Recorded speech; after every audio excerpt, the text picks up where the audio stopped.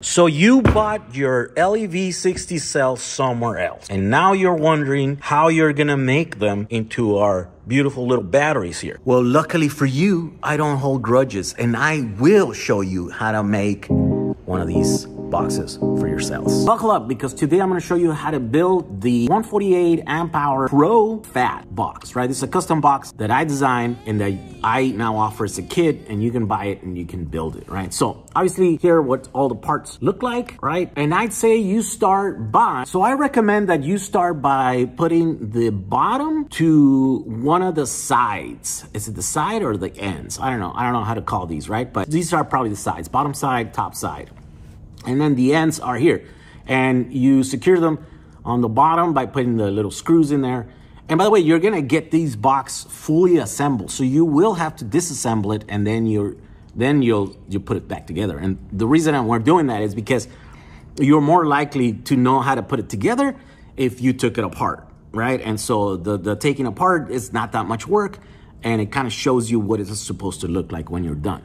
So here, now we're putting uh, those three screws there on the side, right? It's just to hold it. And where you're gonna do one side and then two ends. And the reason for that being is that then you will slide your cells more easily in there, right? So the three sides, and then here's the uh, the other, the bottom side right here, right? So before you put it on, now we're gonna work on the cells. And here are the cells that you bought somewhere else. or you bought them uh, in our website, but for some reason you want to put this together. And so there we go. So then what you do is you grab the bus bar, you put it right there, and then that will guide you as to the positive and negative posts of the cells, right? So you just match them at the very top in that corner, you know, the positives in the corner, the negatives towards the middle, and then you just follow the the diagram there. That's why those are all labeled like that, so just to help you. And then notice that their uh, cells are two positives are together and then two negatives are together and then and then they alternate, right? And then the positive goes towards the end and then the last two cells will match. And then you put the bus bar in there. That just slides in there. And it's much easier to do it right now than to wait uh, and do it afterwards, right? So you just do that. Before we do that though, we wanna check to make sure that that fits in there. So these uh, are quarter inch thick and they have to be that thick to be able to carry the 1200 amps that this battery is designed to fully do, right? And so for that reason, you will have to use thin uh, hex nuts in here, right? And because there's not much room, there's not many threads that stick out past that quarter inch.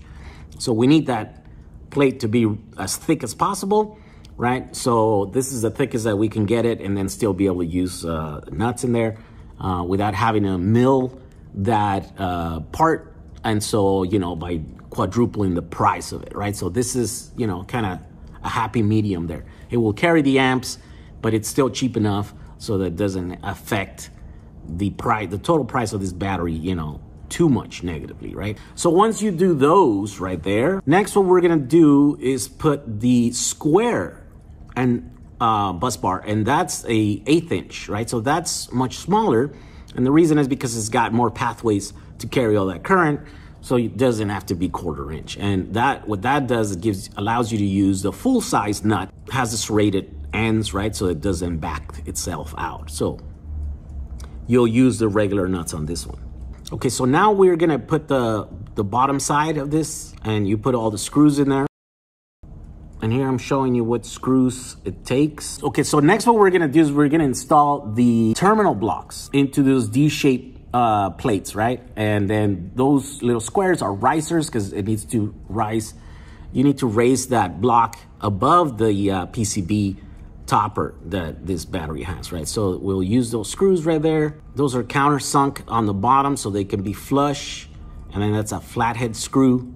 We have to make sure that they're facing the right way, right? Because the terminal block has uh, bigger holes for big, thicker uh, wire gauge on one side than the other one. So just match them if you want your battery to look symmetrical. Here are the other ones. Now here I suggest you not tighten these plates because they have a little bit of play and the reason for that play is so that it could uh, match perfectly match with, with the top plate that has holes in it, right? And so in order for it to match, I'd have to put a little bit of play in there. So what you do is you kind of finish this whole thing, you put the top, and then once you find the place, then you take it off and then you tighten all the bolts underneath. But the next thing that we're doing here is installing that little connector, that five pin connector that is for the balancer. And here's something very important that you have to do. Before you install that, you have to back up and open up those, uh, the holes where these screws are gonna go into, right? Uh, only then will you be able to install that, right? So you have to go in through every little screw, back it out, and open the little hole, and then you stick the whole connector in there, and then you tighten it. It's tightened, you can pull on it. Now you, we test it. We put the battery monitor, and if everything shows up good, then you we did everything right, right? You'll have to use two of those little connectors for this design unless we send you a long one. I think we're gonna try to get longer one so you don't have to do this. But at this point where I'm putting this battery together, we only had the short ones and so that's why I'm using that.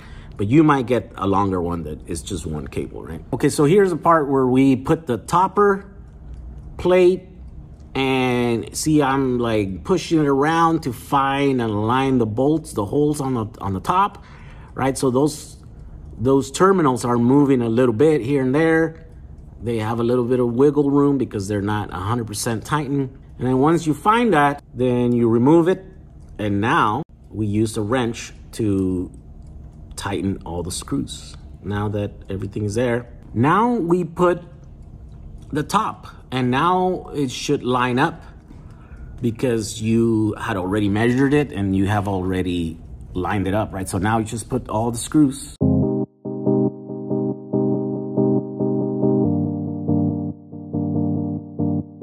Now you can flip the battery over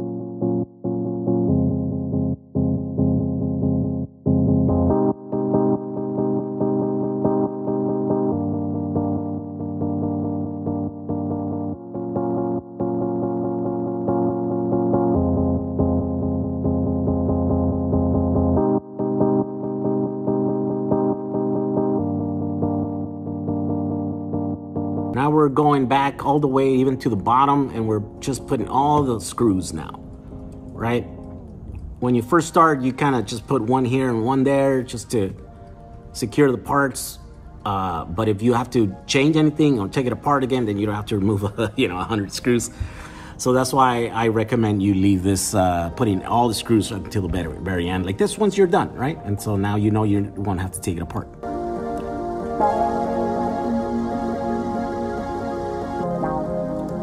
Okay, the last thing is now you just plug in the Batco. And, you know, in order to secure the Batco there, you could just use double-sided tape. You put it on the back of that little unit and you stick it to the bottom um, PCB there and then it's done. It won't, you know, flop around, it won't come out. You could still remove it just by pulling it, right? The double-sided tape is, could be strong, but um, it's not permanent. And so, you know, it's easy. You don't have to use screws, you don't have to use none. It's just a little little square of double-sided tape.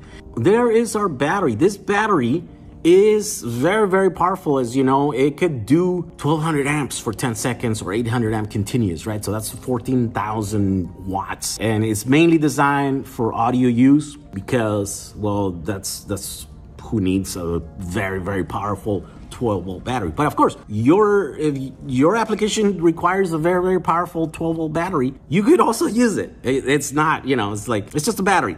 But people who are using it, uh, it's very popular among those, right? And it doesn't have a BMS, so when you charge it, you have to use the balancer. For the first time, you charge it all the way up. If the cells are not even, then all you have to do is just end the charging before any of the cells get past 3.65 and then turn the balancing on and then leave it there for a few hours or a few days, depending on how long it takes.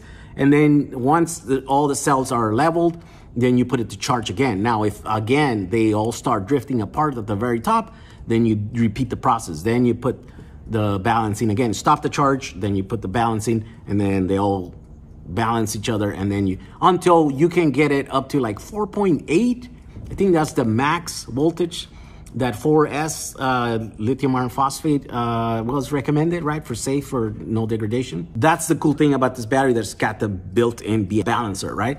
So once you do that, you, you should be fine unless you have some cells that maybe are not great or maybe they differ from the other ones.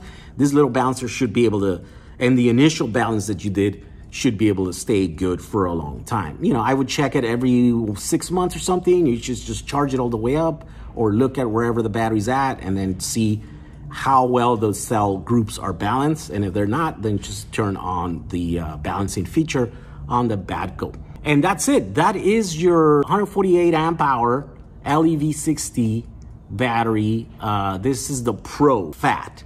And the fat is just the style. It's the way that it's built. There's other batteries that I will show you how to put together that are exactly the same uh, electrically. The only difference is that uh, their shape a little bit different. And those are called different. The really long skinny one is called the slim. And then there's another one that's in the middle that's called the long one. And then there's like a smaller one, version of this, right? So anyways, we'll make videos of all those different sizes and so that you have choices uh, according to your build, right? Sometimes you won't be able to fit this big one in there, but maybe you can fit two of those little ones, or maybe you can't fit one of the long ones or the skinny one, you know, that sort of stuff. Uh, go to jag35.com. This kit is available there and you should be able to buy it and then use your cells that you bought either from us or somewhere else and then put this battery together. Okay, thank you for watching this video. We'll see you guys on the next one. Bye.